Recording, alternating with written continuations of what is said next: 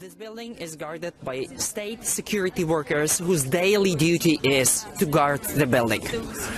Outside perimeter is controlled by the self-defense units who uh, are protecting nation's property and who are in full control of the situation and in full contact with our colleagues inside the building.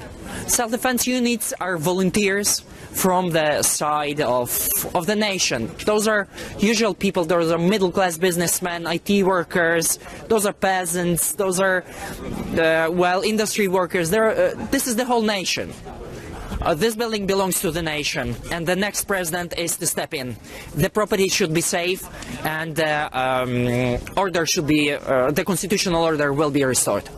Yanukovych will never be back to this building. New president will step in. Shall we not forget that there is a group of people who are really eager to stop the revolution, to disrupt it, to uh, bring blood back to Maidan? We are doing everything to avoid it, and for this moment we are successful.